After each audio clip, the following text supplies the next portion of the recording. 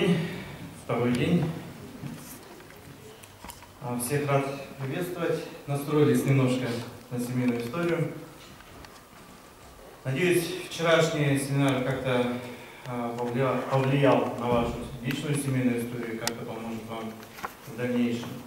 Сегодня мы поговорим о том, что есть в архивной памяти, какие документы, что сохранилось, как искать, как делать запросы и так далее.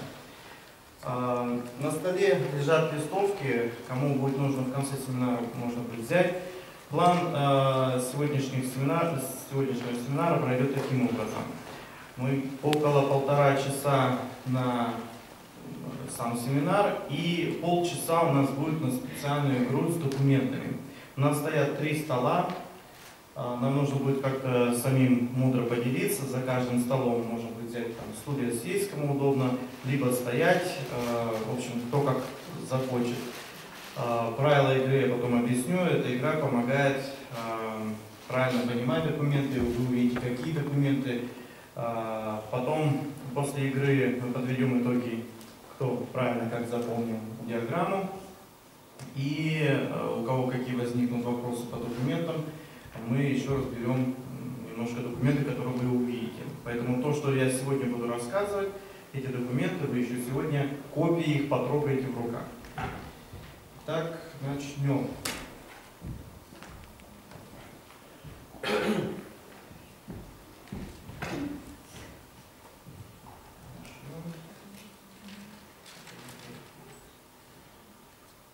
Окей, ну, не, не без проблем, конечно. Есть батарейки мизинчиковые у вас? В запасе не будет такого? Дать серию вчера. Я новый. Ладно.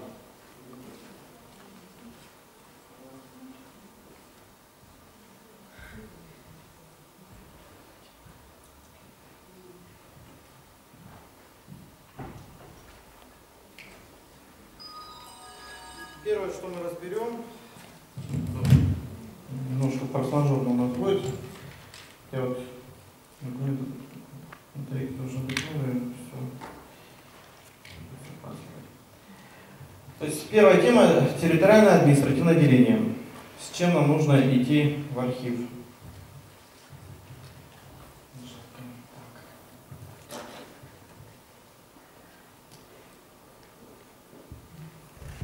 Сейчас щелкаем. Значит, смотрите. А, Ну, кто-то знает, кто, может быть, не знает, что деревня от села отличается тем, что там церковь. От 5 до 15 деревень ходила одну церковь.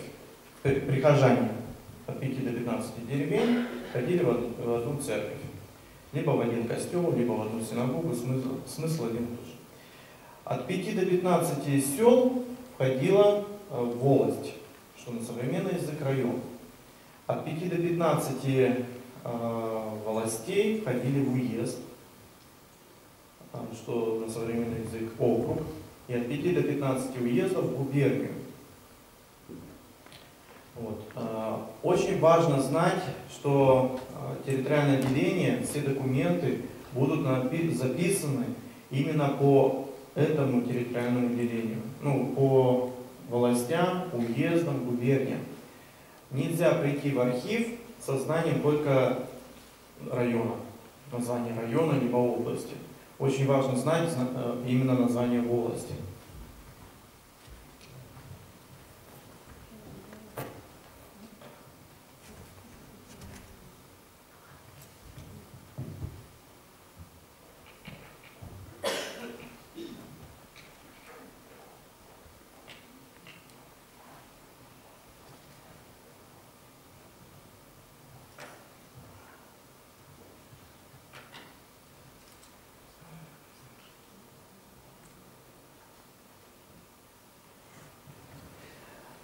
Теперь посмотрите, вчера мы с вами говорили о том, что очень важно знать биографию села. А, Важно знать историю села. Я взял а, выборочное село, ну просто вот те, которые очень часто э, появляются у нас на карте. У нас э, западная часть России отличается тем, что у нас очень много переселенческих участков, которые появились по Столыпинской реформе. И, э, ну, я взял вымышленный участок, Конечно, бывают такие названия Усть-Фыркал или там вообще какие-то непонятные названия. Здесь, чтобы было просто для сравнения, для понимания. Например, э, переселенцы приехали в 1907 году и по первому э, поселенцу, по первому его имени или фамилии назвали этот участок в 1907 году. А, зачастую было так, что переселенцы на родине, там пусть Курская, например, губерния, там они все переженились, они приехали сюда, здесь переженились. А, нет такого, чтобы была именно с одной губернии именно в этот участок. Бывало и с Пермской губернии, и Нижегородской губернии. То есть один участок могли заселять разные губернии. И тут, конечно, могут появиться какие-то однофамильцы. Вот. А, но зачастую было так, что вот именно с одной губернии приезжали и вот заселялись. Через э, три года мы видим, что это стала деревня, и они вновь поменяли название. Э, нет документов, по крайней мере, я не видел о том, как именно меняли, по каким причинам. Здесь только можно догадываться. Либо там э, на сельском своде, естественно, это все решалось, либо там первый поселенец что-то как-то себя неправильно повел и решили все-таки деревню не называть его имени. Вот. Мы видим, что в 13 году у этой деревни появляется церковь, и она становится селом. Как это происходило? На это ложилось, конечно, на плечи крестьян. Крестьяне собирались сельским сходом и решали, ну сколько можно ходить за 3-9 земель, крестить наших детей, либо венчаться, а давайте все-таки построим у нас свою церковь. Вот. Они были ответственны за то, чтобы построить здание, построить церковь. А, там распределяли, кто дрова несет, кто еще что. А, но не только построить церковь, но еще и дом, где э, должен был жить священник. А если село большое, то там и диакон нужен, и панамарь. Вот. В общем, для всех для них нужен был дом. И не только построить, но его обслуживать, то есть э, отапливать. То есть они полностью брали на себя всю эту ответственность за ведение всех вот этих дел. А, расстояния, конечно, были громадные. А, я часто езжу по районам, и когда из одной деревни едешь в другую деревню, особенно у нас по Сибири, то это там минут 20-15 на, машине надо ехать. Как на санях это нужно было ехать. А, я смотрел одно дело, где крестьянин, у него жена была при смерти, и крестьянин поехал за священником, чтобы ее исповедать. И священник отказался. Он поехал к другому священнику. Тот тоже говорит, извини, но я болею. Это как в анекдоте. И на третьем, а, когда он поехал к третьему священнику, то он пишет, лошадь пала. То есть лошадь умерла, зуба, да, или умерла. Вот какие огромные были расстояния.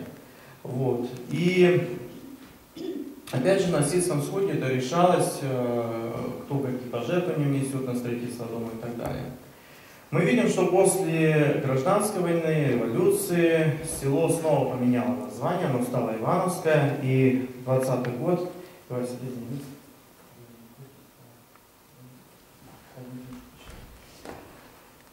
и э, нету церкви. Во-первых, обратите внимание, что церковь э, по документам будет складываться из двух названий. Это название села и название библейское.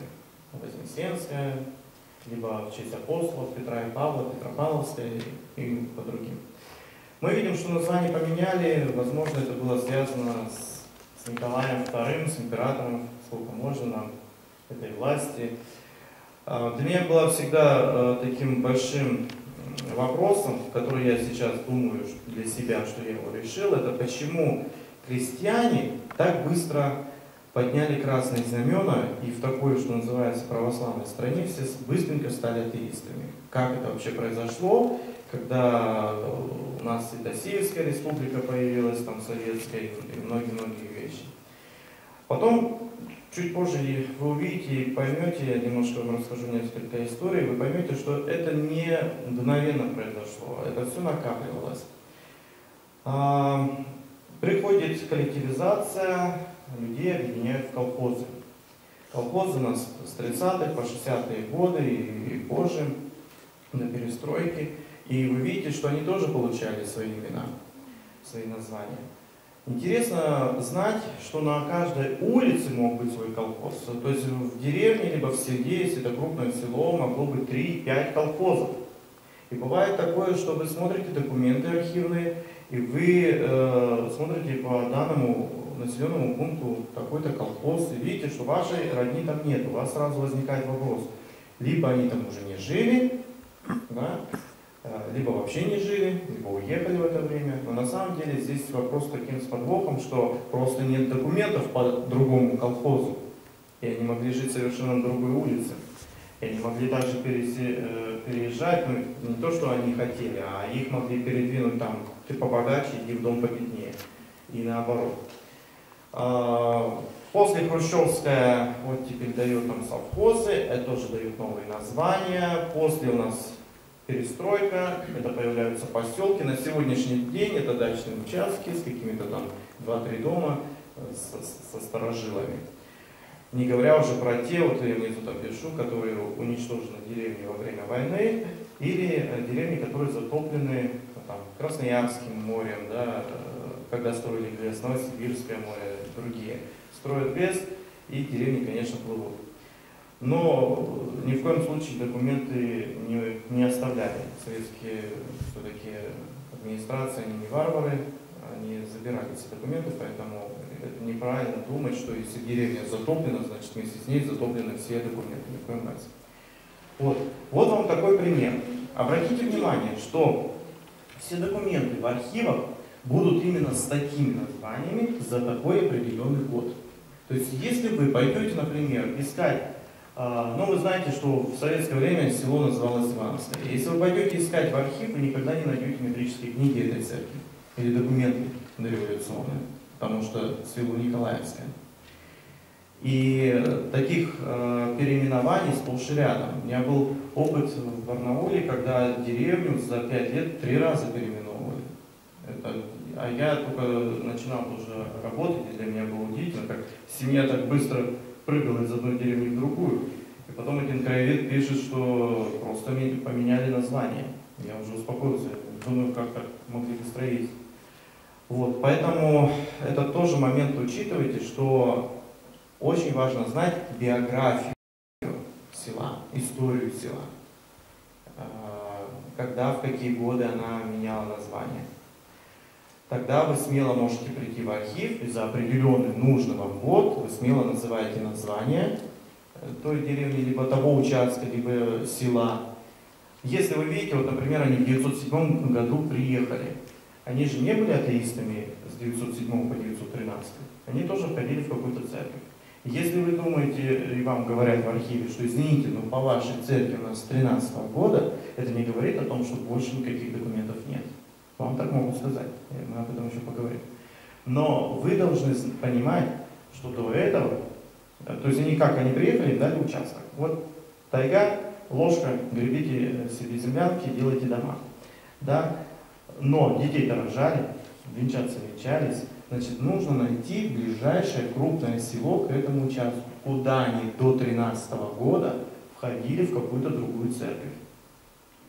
А, то же самое и по нисходящей. Если церковь начинается, например, с 1880 года, это не значит, что все, предел документов. Это значит, что нужно в глубину смотреть, из какого прихода выделился вот этот новый приход. Понимаете? Если что-то это говорит. То есть важно знать вот, вот это все. И, естественно, территориальное деление. То есть в какую волость, опять же, в какой уезд. Если мы идем э, в глубину, э, мы помним, да, что были губернии, не всю, не всю вечность они были, например, Енисейская, там 1832 образовалась, а до этого она была частью в Томской, частью в Иркутской. Поэтому документы, чем глубже, тем нужно понимать, если она была, относилась одна территория в Томской, другая в Иркутской, значит там будут в Томске и в Иркутске за эти годы документы. Понимаете? Вот. Поэтому, а дальше там остроги и так далее, и так далее, и территориальное деление совершенно с другим названием будет. Тоже будет и наместничество и так далее. Так, идем дальше, это запишите.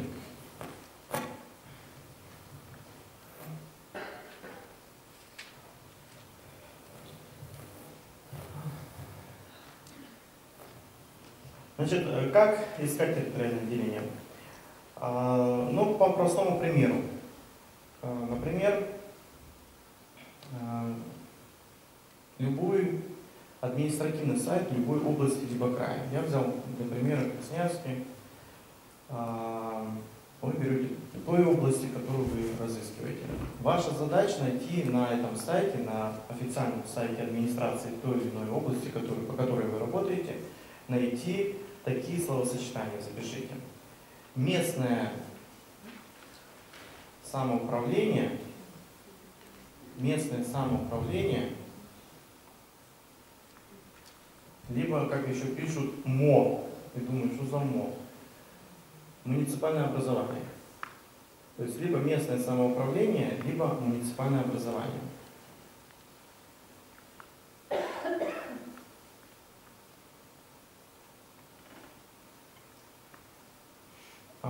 Дальше, зайдя по этим ссылкам, вы находите список а, районов, либо городских округов. Я взял самый первый э, по списку, это Амурский район, и смотрим дальше. А, мы смотрим паспорт Раз. Паспорт района.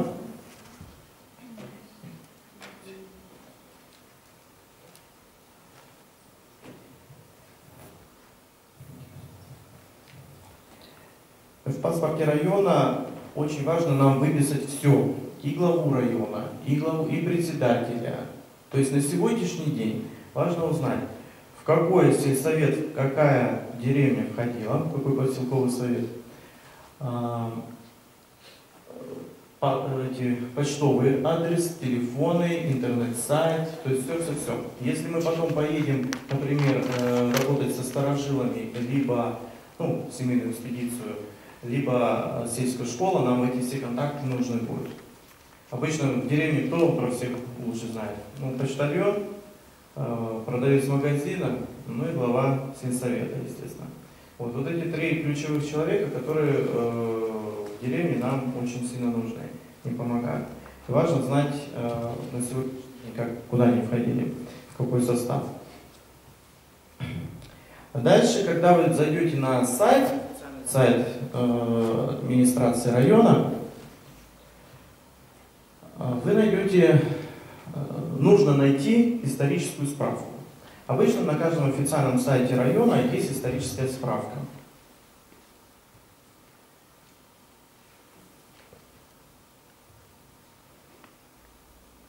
И вот здесь самое интересное. Здесь есть карта, ну она обычно современная карта, и есть административно-территориальное деление, как раз описывается дореволюционное, то есть в какую волость входила деревня, в какой уезд она входила, в какую губернию входила. Нужно понимать также, что вот не повезло Боготольскому району, да, потому что много раз было разное территориальное деление, поэтому документы, для примера, документы по Боготольскому району будут здесь, в Томске, в Мариинске, в Кемерово, в Боготоле, в Вачинске, в Назарово, в Красноярске, то есть взрыв крузной фабрики. Везде могут быть. Если у вас подобный населенный пункт, который граничит с границами районов, областей, округов, имейте в виду, что придется прошерстить все вот эти местные архивы районные, городские.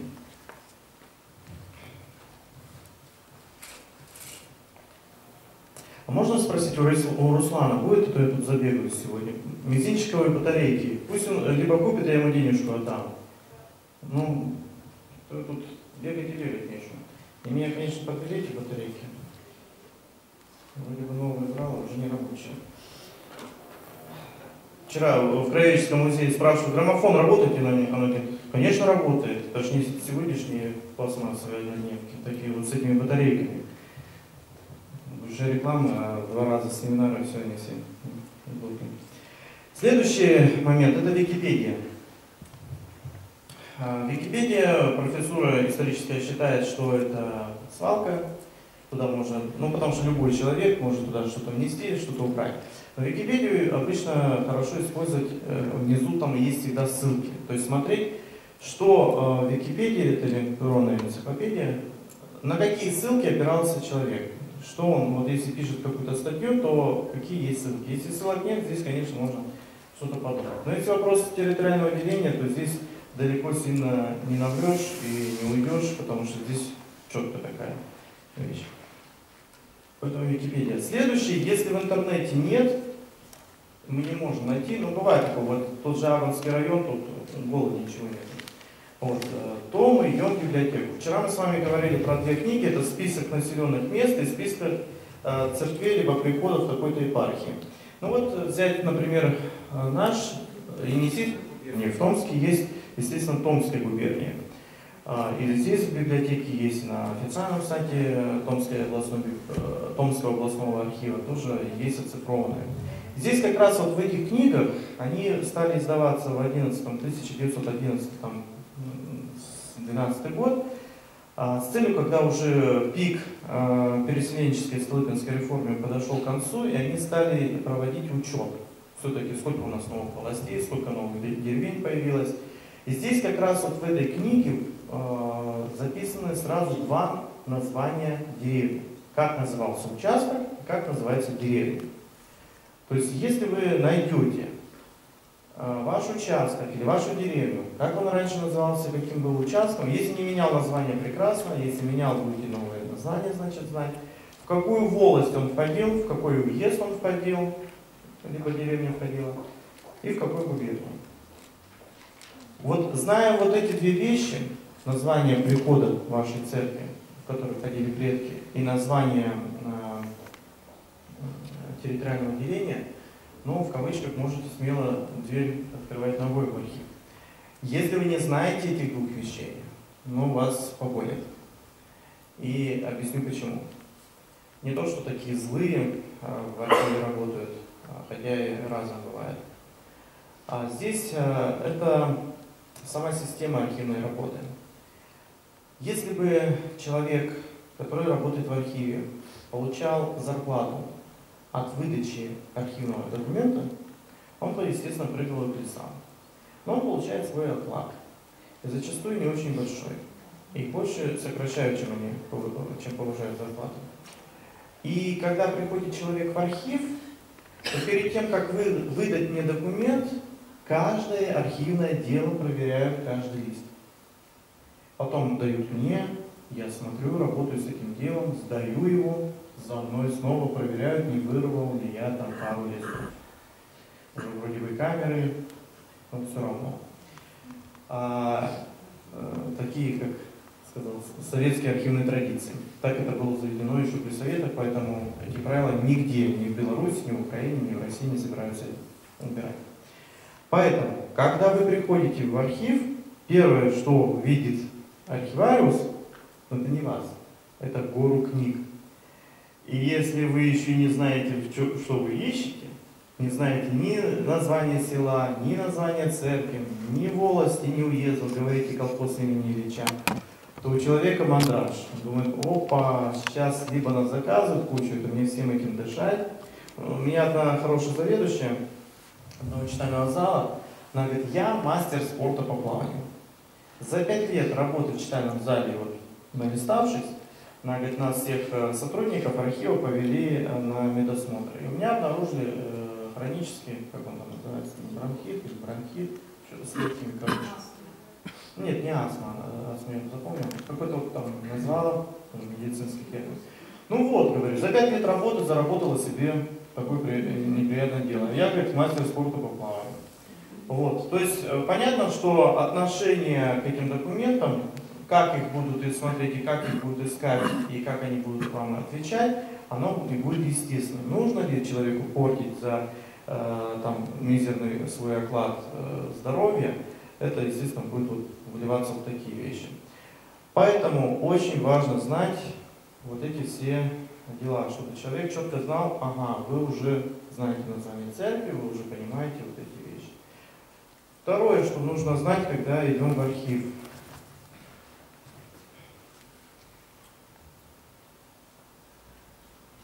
Сейчас я сразу их наставлю, чтобы не бегать. Значит, это основание. Если вы знаете основание, что это такое, а это архивный шифр или адрес документа, то уже смело можете заходить в архив и писать запросы. Если вы не знаете, что это такое, ну, будет много-много проблем. Сейчас расскажу. Значит, представьте себе, я просто записал, схематично зарисовал, что это как шкаф с книгами. Вот давайте сделаем так. А, шкаф – это фонд. Таких шкафов в архиве тысячи. Каждый фонд имеет свой номер, каждый фонд имеет свое название. Ну, для примера, чтобы лучше понимать, давайте возьмем фонд э, судебных дел. Например, фонд э, судебных, там, как он там называется, там, судебных дел Томской губернии. Э, каждая опись, полочка, это будет делиться на административные дела, на, суд, на уголовные дела, на политические ссыльные дела и много-много-много таких полок. Это и символически, естественно. Каждая книга на полке это номер, это дело, которое имеет свой номер, которое имеет свое название, свои годы и так далее. Их там тоже до миллиона в архиве может быть. Поэтому, когда к вам, вы приходите в архив, а вам говорят, извините, но по вашей деревне все сгорело, вы ничего не найдете, это ну, вранье вот такое, знаете, который говорит, идите отсюда. Вот так. Не может ни один человек знать миллионы документов и названия всех дел, и где они хранятся, и как они хранятся. Поэтому и зуб мне один архив отдал, от того, что говорит, зуб отдам, но нет у нас ваших документов. Я там поработал потом в архиве, говорю, давайте зуб, и нашел. Вот. Нельзя э, идти на поводу, на поводу сотрудника и ну, сколько бы лет он не работал. Она мне говорила, что 30 лет работал, первый раз слышу. Ну, в архиве это всегда открытие. Поэтому э, в Омске это называется легенда. Не знаю, откуда они взяли это, но во всех других архивах это основание. То есть это адрес книги, адрес документа. Э, еще один важный момент, что в архивном деле имеются листы с оборотами. Ну, например, Открываете книгу, она всегда на, на две части раскрывается. О, палочку, выручалочку. Спасибо большое. Извините, что так. Это или что? А, ничего. А, вы будете помогать? Ой, спасибо огромное. Ну, хорошо. Хорошо. Это, это мне урок тоже учу, чтобы брать Так, давайте я вам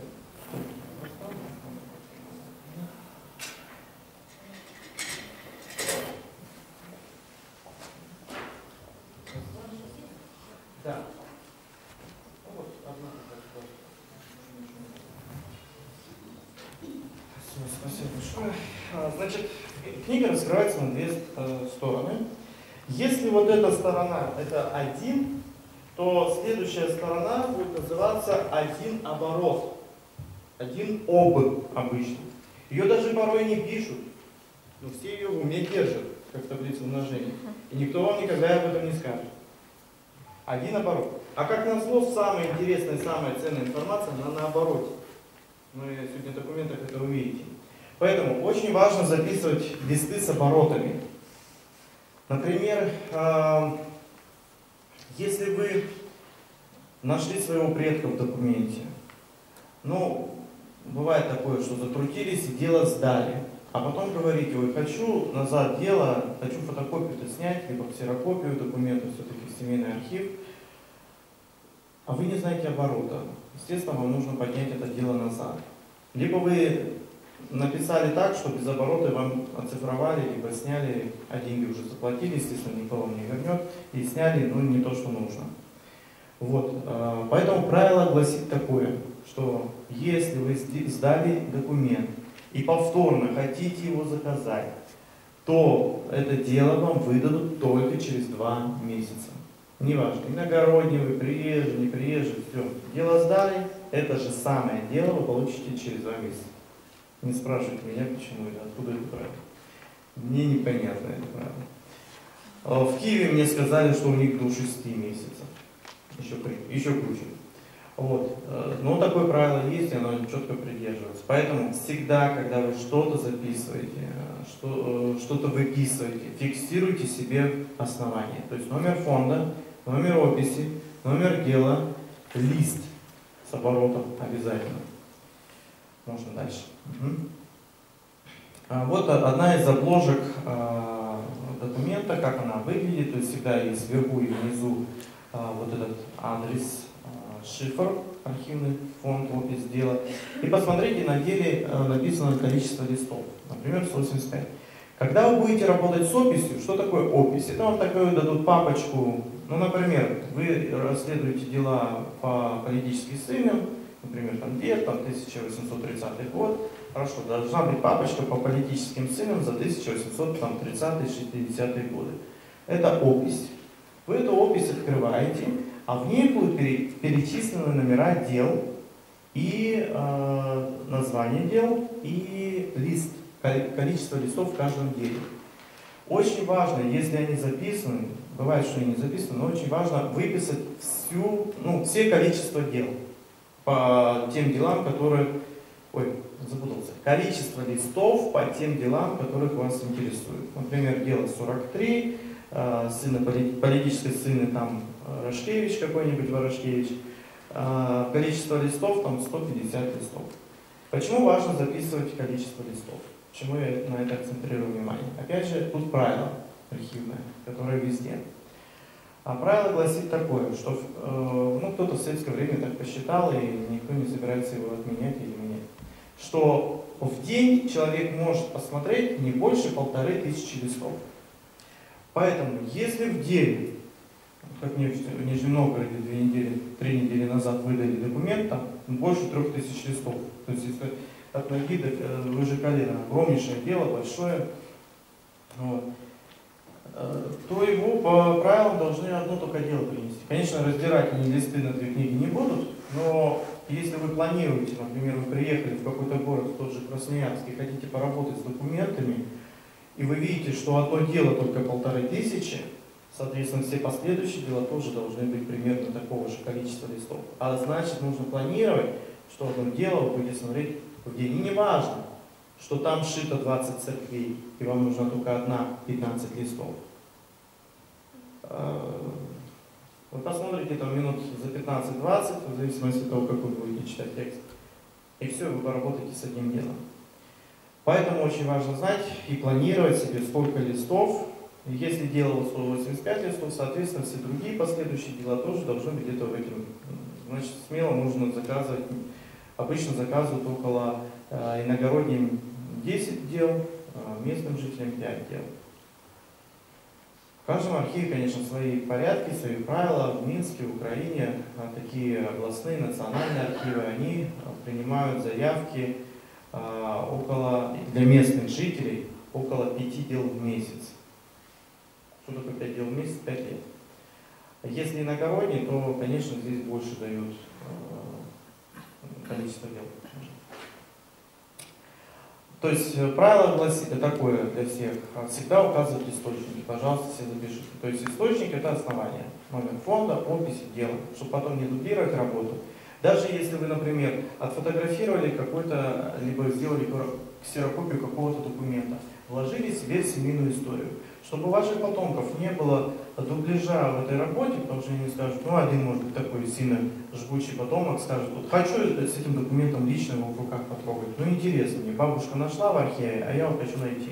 А у вас нет оснований, значит ему надо всю эту работу переворошить заново. Поэтому если у него будет источник основания, с основания вы можете проверить любого архивариуса, можете проверить любого коммерческого поисковика, типа меня, когда люди говорят, ну а вы можете мне там сочинять на врете. Есть основания, по которому вы можете всегда сделать запрос в архив и запросить архивную справку с гербовой печатью о том, что где это дело находится. Вот, то есть проверить. Можно дальше. Так, а, можно еще. Значит, поговорим о запросах. Запишите. Запрос. Как мы э, работаем с запросом? Помните о том, что никто не любит читать сочинения о том, как ты провел лето. Если вы напишете в запросе, что мой дед, и начинаете там на два, на три предложения писать, то он туда-то ходил и туда-то ходил. То же самое, если вы мне будете писать, то прошу тоже очень коротко и ясно, потому что когда один запрос, это одно дело. Когда их в день по несколько штук, то чтобы ответить и не затянуть вам на долгие-долгие годы, и архивариус, и любой э, человек, кто работает с архивами, он должен четко, э, он, у него уже есть картина того, куда бежать, кому звонить. Но ему тоже нужно четко знать, что вы хотите и что у вас есть. Поэтому не должно быть в запросах ни в ФСБ, ни в ГУВД, ни в ЗАГС, ни в архив таких вот на два листа сочинений. Очень коротко, так и запишите, не больше двух предложений. Чем короче и четче, тем лучше. Тем быстрее вам ответят и меньше шансов на отписку. Итак, первое мы пишем фамилия, имя, отчество и цель запроса. Цель запроса мы пишем э, либо составление генеалогии, составление древа, семейная история. А, здесь, конечно, человеческий фактор очень сильно работает. Когда мне тоже там заведующая одного зала сказала, вы меня говорит, достали со, своей родословной. То есть кого-то родослов, слово родословное уже просто бесит. Вот, э, поэтому я нашел э, другой путь э, с такими людьми, я просто пишу, ну, пишу книгу по деревне такой-то. Вот. Я не вру, я действительно собираю информацию по деревне по жителям деревни. И тогда, когда вы пишете в требовании, в заявлении, что вы пишете книгу, к вам и отношение немножко по-другому. Вот. А, поэтому имейте в виду, что в зависимости от того, как вы с вами разговариваете, повернется вот работа. Можно следующее. А, то есть мы пишем, что вам известно, что мне известно. Мне известно фамилия такого-то родственника. Если мы пишем, например, запрос в ФСБ чтобы узнать о репрессиях, мы пишем фамилию родственника и что коротко вам известно. Когда его забрали, в каком году расстреляли и где. Все. Больше ничего. Ни о том, за что, почему. Даже если вы знаете, не пишите об этом. Вот. Это уведет больше людей на другой. Третье. Это что нужно узнать. И тут вы конкретно пишете. Я лично хочу ознакомиться с делом, если это вопрос идет ФСБ. Если вопрос идет о ЗАГСе, вы говорите, я хочу получить архивное э, свидетельство о рождении, либо повторное свидетельство о рождении, либо о браке смерти. Вот. То есть конкретно, что тоже там буквально в одном предложении все это нужно объяснить. Что конкретно вам нужно, за какой год, кого вы ищете. Пометьте себе восклицательным знаком. Архивы смотрят документы плюс-минус 5 лет, то есть вы можете как минимум запросить период десятилетия, чтобы э, люди посмотрели. Если придет отрицательно, вы по дурочку косите, по новой отправляете, по другим 10 лет. А, а ЗАГС э, смотрят 3 года, плюс-минус 3 года. Плюс-минус 3 года. А, четвертое. Оставляйте свои контакты телефон, потому что часто сейчас звонят, ФСБ даже вот у нас по Красноярскому краю, они даже смс приходит, оцените работу сотрудников МВД РФ по Красноярскому краю. Ну, техника дошла уже, оценку можно поставить сотрудникам. Вот. Не представляю себе представление такое. Это прям какая-то комедия. Оцените работу сотрудника НКВД. Знаете, как раньше вот, Э, недавно документы, один у нас человек есть, Алексей Бабин. Кому нужно, запишите, он занимается по репрессиям по Красноярскому краю, кого репрессировали в Красноярском крае. Вот, и он наш, недавно нашел такой документ, что ну, действительно не было никакой э, логики, за что человека могли забрать э, в эти трудлагеря, либо расстрелять. Был просто план. Э, страна бедная, нищая, после революции, после гражданской, нужно строить заводы, и электричество, и газ. А кто будет это все делать? Ну, делать, конечно, будет кто, но им же платить надо. А страна не может себе позволить такие расходы. Поэтому просто была разнарядка. 200 человек на завод на Ринблаг. Все, идем, пришиваем любому смертному 58-ю статью. Приходит женщина, например, э, говорит, вчера приезжал воронок, семью забрали. А дети, э, а у меня, говорит, общага, через стенку там фанера, все слышно, дети там голодные уже второй день пищат, народ, я не знаю, что с ними делать. Я говорю, женщина, сейчас подождите, все решим. Через час приходит, я одеваю наручники, все, камера. Где логика? А нет никакой. Ее так-то надо еще по улице собирать, народ пугать. А так вот у нас она, как горячий пирожок пришла, ее быстренько, опа, иди работай. Вот. Ну, естественно, там статью, что о разглашении э, дел. Вот. И, например, на, на Лагу нужно было там какой-то инженер. Они прям смотрят, по каков, где работает какой инженер. Ага, вот этот адрес, идите, пишите ему 58 все. Он бесплатно всю жизнь, вся семья его будет там на релаге работать. То есть страшное дело. А, а сегодня вот э, оцените работу сотрудников э, КГБ. Значит, дальше. А, ответ какой должен быть прийти? Можно все нажать. Там вот четыре штуки. Так и так. Угу. Значит, сразу вашему запросу, когда вы пишете, присваивается номер и сам ответ. Номер и сам ответ. И самое важное, как отличить хорошие ответы, проработанные от отписки. Это основание. То есть должен быть архивный шифр. Конечно, здесь у них такое э, правило, которое подстраховывает сотрудников архивов или ЗАГСов, что если дела нет, то можно вообще ничего не писать. Вот. Но здесь, э, то есть, э, правило такое, что в течение месяца они должны дать ответ. Ну какой ответ? Они могут написать вот, вот все, что хочешь. Могут вообще написать, что все сгорело, ничего нет, отстань от нас.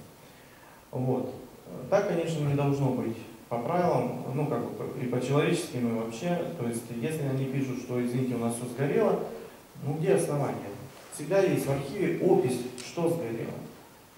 Вы мне хотя бы ссылку дайте на эту опись, чтобы я знал, а что у вас вообще в принципе горело. Да, действительно, в 70-е, 80-е годы что-то что, -то, жгли. Любой архив откройте в интернете, посмотрите историю архива, вы увидите, что что-то жгли. Вот. И в эти документы попали как раз политически ссыльные там в 1800-е годы. Вот. А, видать, какие-то там судебные э, дела. Но все равно должна быть какая-то опись оснований.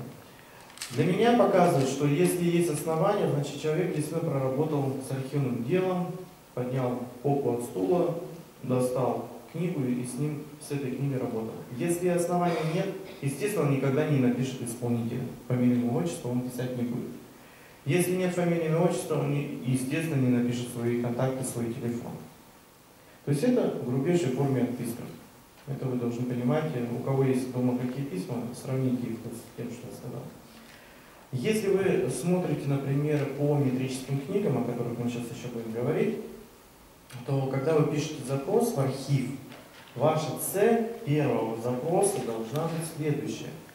Узнать, сохранились ли документы по той или иной церкви. Церковь, название церкви вы уже заранее должны знать. То есть сохранились ли э, села Ивановского э, Параскевой Пятницкой церкви, если да, то за какие годы сохранились ли метрические книги. Если да, то за какие годы. Ваша задача узнать, что сохранилось в архиве. Потом уже думать, как вы будете с этим работать. Если вы напишете «хочу генеалогический запрос», вам поставят либо счет, либо э, скажут, извините, но у нас нет сотрудников, которые будут исполнять эту работу. Ну и я вам объясню, как смотрит, как делает поиск генеалогический архив. Наше дерево, конечно, всегда Вообще неправильно, вот сейчас какая-то мода пошла, не знаю, но это неправильная мода, когда дерево называют род и такой-то фамилии. Это неправильно, некрасиво, по крайней мере, по девичьим фамилиям наших бабушек. Нельзя называть э, э, родословную одной фамилии. Можно назвать семейное древо, можно назвать там ну, просто древо. Но ни в коем случае присваивать фамилию родословной, это неправильно. Вот. Это возникает именно по той простой причине, что люди не знают девичьи фамилии. Если бы они знали девичьи фамилии, вы не назовете, что это волна. Вот, как смотрит архив? Архив берет и делает срез по вашей прямой фамилии. Он не будет искать там девичьи фамилии ваших бабушек. Им это не надо. Вы делаете, и вы не знаете, кого искать, правильно? Мы же не знаем девичьих фамилий. Мы говорим, вот фамилия Петрова, пожалуйста, дайте мне Петрова. Они, конечно, там могут написать, если появится брак, но у наших бабушек же тоже родители. А это понятно, что это может быть и бесконечная работа. Как бы здесь сотрудника архива тоже можно понять. Но платить э, там, от 40 тысяч рублей больше за вот такой срез, я лично смысла не вижу. Если кто, конечно, хочет, пожалуйста, я вас не отговариваю, но вы должны это знать и понимать, что для нас, для э, семейного древа, это ерунда.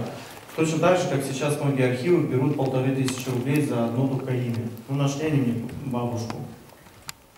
Мне родители ее не дают. Вот только бабушку мне дают. Полторы тысячи рублей отдай. Смысл такой работы? Мне их там надо много, как минимум. Вот.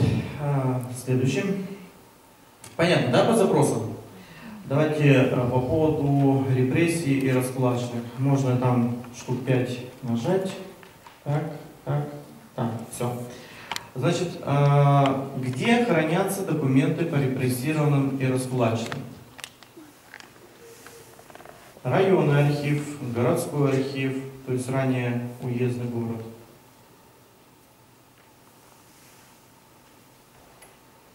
Областной архив, краевой, ГУВД, ФСБ, КГБ, СБУ.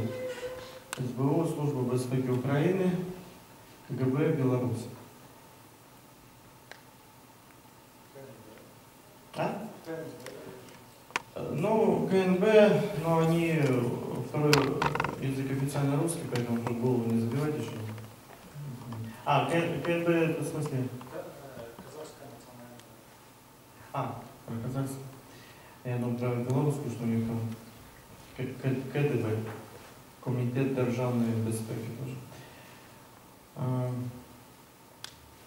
дальше. Следующий слайд. А, теперь тоже там у нас 5 нужно нажать. А, не успели? Да. Будь ласка, назад. Ага, вот здесь.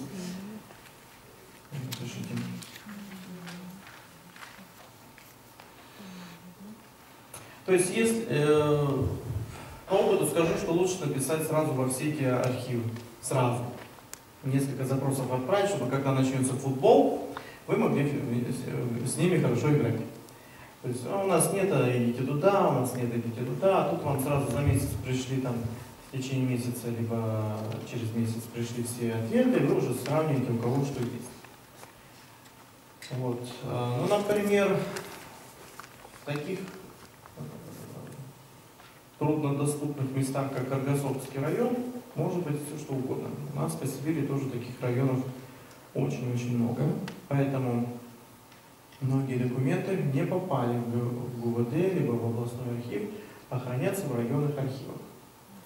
Поэтому у нас есть Куравинский очень хороший архив по расплаченным, репрессированным. И что вот интересно, там можно смотреть, что все бесплатно без очереди э, кого хочешь в ГУВД аж предоставьте нотариально заверенный документ, что вы там, прямой родственник. Вот это вот, кто где, каждый суслик агроном, да, кто за каким столом сидит, тут такие правила выполняет. Вот суть одна и та же, те же самые документы. Но в другой архив и уже у, тут уже надо вот через, прыгнуть через левое плечо, чтобы получить этот документ. Вот. Поэтому э, на вашем месте я бы сразу отправил во все вот эти архивы по вашему предку. Записали, да? Идем дальше. Итак, какие там могут быть документы? Документов может быть море. Так, еще, еще и... Ну, вот здесь остановимся. Значит, личные дела обязательно. По каждому репрессированному есть личные дела, анкеты, допросы, доносы, списки, лишенцы избирательных прав, красные партизаны, партийные списки и анкеты – ну, архипелаг ГУЛАГ я бы предложил всем почитать, просто чтобы окунуться в эту жизнь, что пережили наши предки. Эту книгу бы я лучше ввел во все классы для подростков, когда бы у нас ни суицидов не было, ни наркотиков не было, э, дети бы стали понимать, что такое жизнь. Если бы они читали архипелаг Гула, как это было, как семьи просто э, раздирали на каждом шагу. А вот.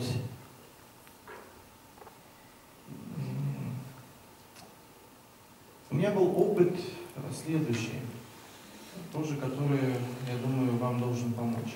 Моих предков, о которых я вчера вам говорил, читских, которые воспитывали мою бабушку, а их сослали в 29 году из-за того, что не хотели в колхоз поступать. А, И я сделал запрос